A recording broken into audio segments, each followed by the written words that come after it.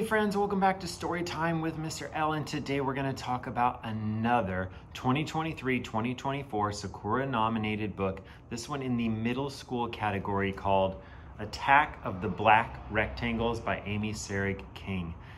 This book is the story of a sixth grader named Mac who questions a lot of the things he's being taught in school and why he's able to learn things and why he's not he wants to understand why he's not being taught the truth.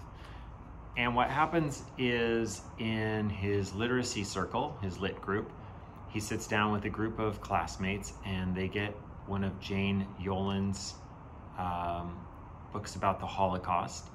And they start reading and they realize that inside the book, some of the words have been blacked out with black rectangles and the book sort of unfolds into this mission that Mac and his friends go on to find out why the words are blacked out, who blacked them out, and who has the right to regulate what we can and can't read.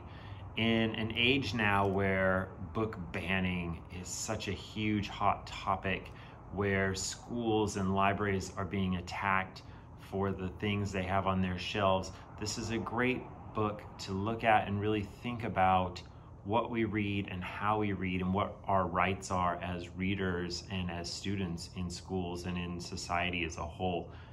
It is a fantastic read, a quick read. I think you're really going to like Mac and his friends, and I think you'll be impressed by their journey and what happens uh, at the end.